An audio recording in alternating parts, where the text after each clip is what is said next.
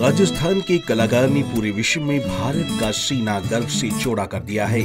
ये समय भारत के लिए गर्व करने का है, क्योंकि राजस्थानी गायक मामी खान ने कान फ़िल्म समारोह में रेड कारपेट पर चलने वाले भारत के पहले लोक कलाकार बनकर इतिहास रच दिया है।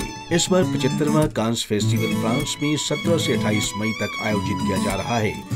ऐसा पहली बार हो रहा है कि भारत का कोई लोक गायक कांस फ़िल्म फेस्टिवल में रेड कार्पेट पर पहुँचा है।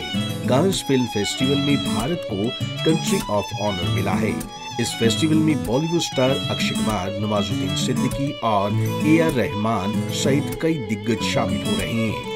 राजस्थान जैसलमेर के सत्तो गाँव से निकलकर बॉलीवुड ही नहीं, बल्कि कई देशों की यात्रा कर लोकगीत और स्थानीय गायकी की परंपरा को ज़िंदा रखने वाले संगीतकार मामे खान आज एक मशहूर शख्सियत हैं। वे राजस्थान के मांगड़ियार समुदाय से आते हैं। ये समुदाय अपने लोक संगीत के लिए जाना जाता है।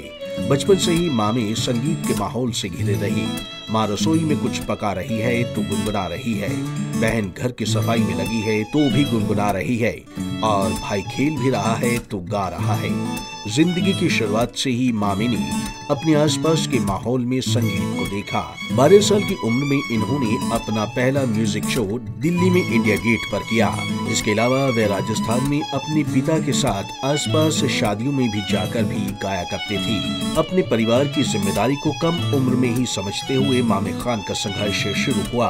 बचपन में गुड्डे गुडिया नहीं, बल्कि ढोलक और सितार मामे के खिलौने रहे। राजस्थान के जैसलमेर ज़िले के एक गाँव से बाहर निकलकर आना, जहाँ कभी बिजली पानी जैसी दैनिक जरूरतें भी एक बड़ी समस्या थी, और बाहर आकर भी अपने लोग संस्कार और रीति रिवाजों को अपने साथ ज़िंदा रखना और उसे दुनिया में फैलाना मामी को अपने आप में खास बनाता है।